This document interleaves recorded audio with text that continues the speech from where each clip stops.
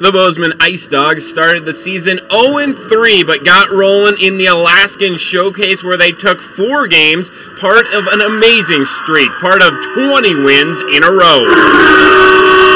We went to the showcase and we started beating teams pretty soundly, and we beat a Texarkana team, and we beat a Youngstown team, and we beat a Santa Fe team. I think our guys realized that well, we had something special going on here. A lot of the vets on this team felt that even when we lost to Texas the first two games of the year, that we had a really good team. Uh, we we were young, so you know we knew it would take a while, but those first two losses, we showed a lot of a lot of promise this year, and then it carried over into the 20 game win streak. The Icedogs' 20 game win streak got snapped, but they quickly went on a 12 game win streak. They finished the season with the best record in the league, 48 9 and 1.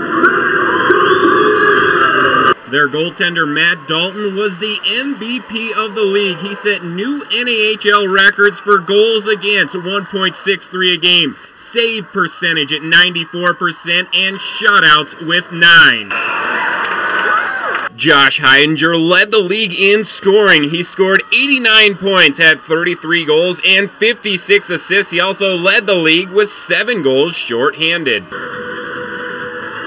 It was rocking at the Ice Garden when the Billings Bulls came to town, Bozeman's chief rival for the first round of the Western Conference playoffs. But Bozeman owned Billings, going 11 0 against them in the regular season, and much of the same in the playoffs as Bozeman fought their way to a 3 0 series win.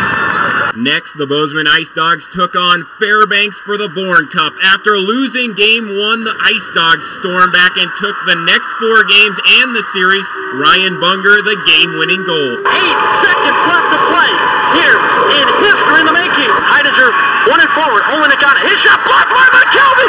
Puck trickles out of the zone, and the Bozeman Icedogs are the 2004 2006 Bourne Cup champions. I love it. I love it. I love it. Yeah, for me personally, that was a really good feeling. It's the first time I've ever been on a hockey team where we've ac- accomplished something like this, and so you know, it's it's made me pretty proud.